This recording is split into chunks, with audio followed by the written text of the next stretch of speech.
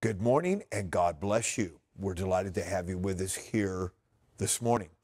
Perhaps this is your first time tuning in and joining us. We extend a warm welcome to you and trust that you're blessed with what you hear today.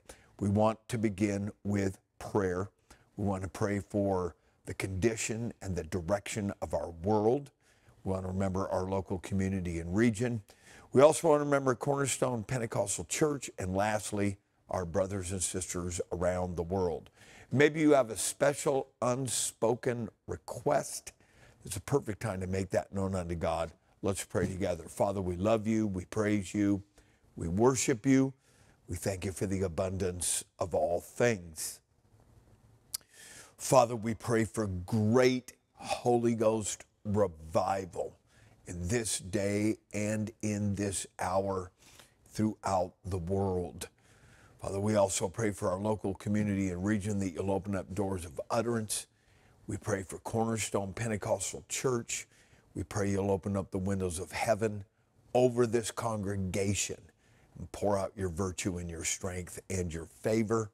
And lastly, our brothers and sisters around the world, we pray that you'll furnish them with a hedge of protection. We ask it all in the name above every name, the name of Jesus Christ. Everybody said, Amen two verses of scripture found in the book of Isaiah, chapter number 60. Isaiah, chapter number 60, starting with verse 1. Arise, shine. Now, if you watched um, yesterday's devotional, I quoted a portion of these two verses, but I felt so strongly this morning to talk about verse 2. Arise, shine, for thy light is come, and the glory of the Lord is risen upon thee. For behold, this is the reason for that. For behold, the darkness shall cover the earth, and gross darkness is the only place in the entirety of the Word of God where this is mentioned. Gross darkness the people. But the Lord shall arise upon thee, and his glory shall be seen upon thee. For behold, the darkness shall cover the earth. The darkness shall cover the earth. That's what I want to talk about here. This word darkness is mentioned two times here in this verse. And I believe that we are what we are seeing here is a spiritual darkness. Spiritual darkness shall cover the earth. Um, this is obviously an end time scenario. Um, some would posit that this is specifically for the Jews. This is an end time prophecy for the Jews. But I want to tell you, ladies and gentlemen, that spiritual darkness is in the earth today. And then there is another form of darkness that is far more personally subjective, and that is where it says gross darkness. So you have um, spiritual darkness covers the earth but then gross darkness. This is a, an experiential darkness. It's not just spiritual darkness, but now this is a darkness that is because we're made in the image of God and we're made with certain particular faculties of not just the physical man with the five senses, but the soul has the ability, it has sensations, it has a sensory ability. And even people that are lost are going to be able, there's a tangibility to this, there is a discernibility to this. Gross darkness, the people. And I believe that this gross darkness, if you if you had to if you had to come up with a description of what this what this darkness felt like, I believe that it would be something like abject hopelessness. hopelessness. Um, and you and I, as being made in the image of God, we were not created, or let me let me rephrase that. I don't believe we were ever created to feel hopelessness.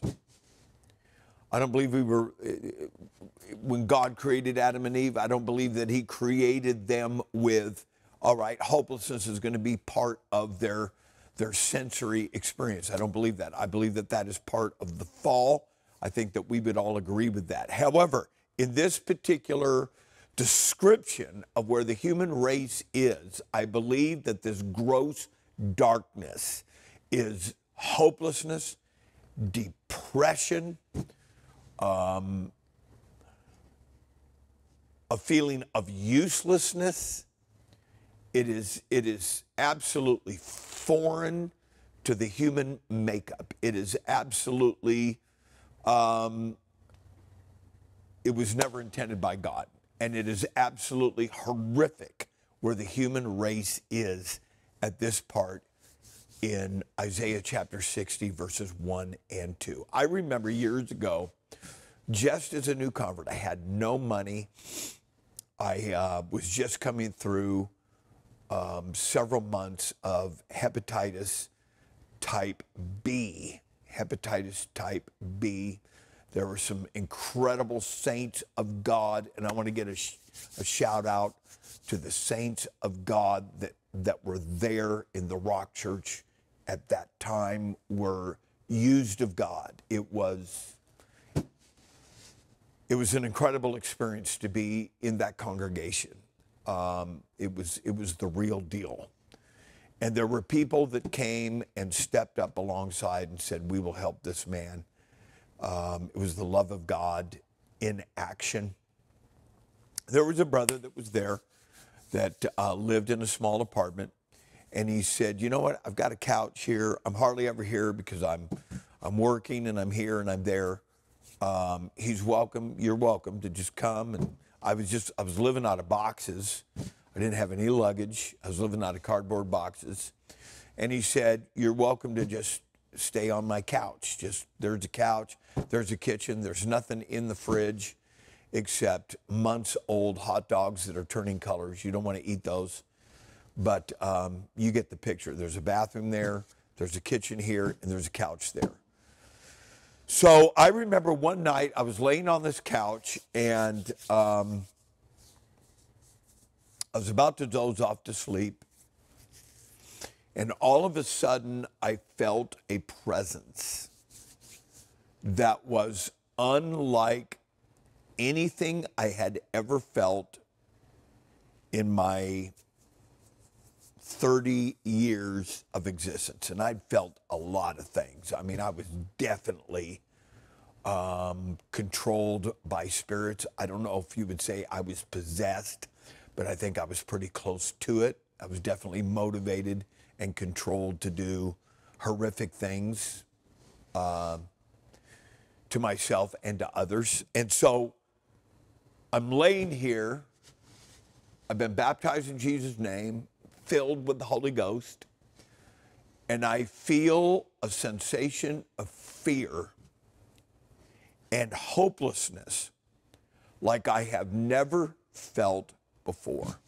And it was just like I was, I, it was like that I was captivated by that, that sensation of absolute, pure, unadulterated fear and hopelessness. And I really believe that it was the presence of Satan had come into that room, um, much like Matthew chapter number 12, when an unclean spirit is gone out of a man, that he, he cometh back with seven more uh, to check on the condition of that individual. And I was laying there and I was frozen and all I could do is just say the name of Jesus, Jesus, Jesus, Jesus, in the name of Jesus, in the name of Jesus, in the name of Jesus. I praise you, I worship you, I praise you, I worship you. And after many, many, many moments, it left. It left. But I will never forget, I will never forget that absolute paralyzing, paralyzing sensation of fear and hopelessness that came back to my life. Uh, several years ago, there was an individual that came uh, to our congregation that I had actually met uh, in a revival somewhere else. They were just a member of another congregation, but they had family here, so they moved here and came to um, our church for a short time. And seemingly out of nowhere, I get a phone call that this individual um, had been admitted and was in the psychiatric wing of Sacred Heart Hospital. And so I went to visit this individual and I, in visiting with them and, and, and dialoguing, you know, what are you doing here? What da, da, da. It became apparent to me that this individual was experiencing absolute, total hopelessness. At one time, a saint of God. I quoted scripture. I tried to encourage. I did everything I could to reach with this person with the promises of the Word of God that are uh, uh, immovable foundation for the church of the living God. But there had been something that had happened in this individual's life that had stripped them of their hope, stripped them of their faith, stripped them of their joy. I, I really believe that when people get to the place of experiencing gross darkness, that it affects their mental health. I've seen it. I have come in contact with people that I believe that it absolutely begins to affect their mentality, their stability uh, as a human being. We were never designed for that. What is the answer for this? This is the answer for gross darkness and people that that um, they're watching uh, America that was once the land of the free, and I'm not. I am a I am a patriot. Understand this. I am a patriot, but I want to tell you. I want to tell you that the America that I grew up with is gone.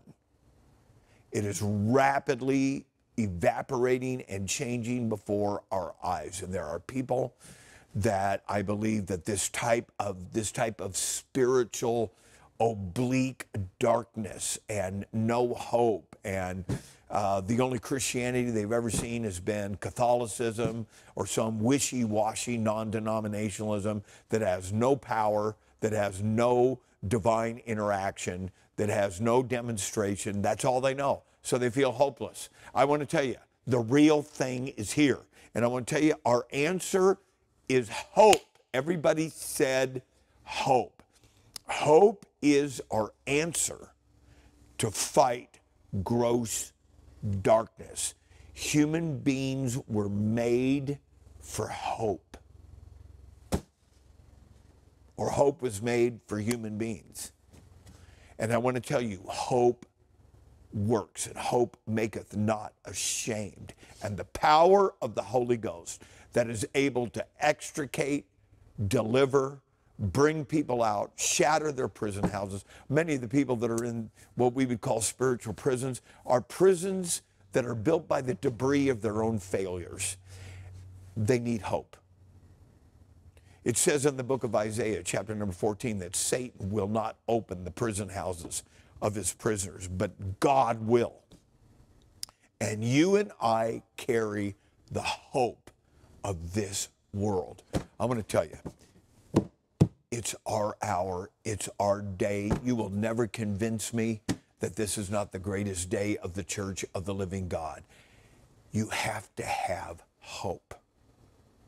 Because hope, people are drawn to hope. It's like striking a match in an absolute dark room they will be drawn to it. That's why yesterday I talked about let your light so shine before men. You can feel this darkness creeping in. It's not hopelessness to us. If you have the baptism of the Holy Ghost, if you have a prayer life, it's time to get a prayer life. It's time to stay full of the Holy Ghost. It's time to know the Word of God. It's time to get a hold of this thing and, and, and allow it to permeate into your life, into your heart, into your mind, into your soul, into your strength, so that it can reverberate out in a world that is beginning to feel the sensations of gross darkness.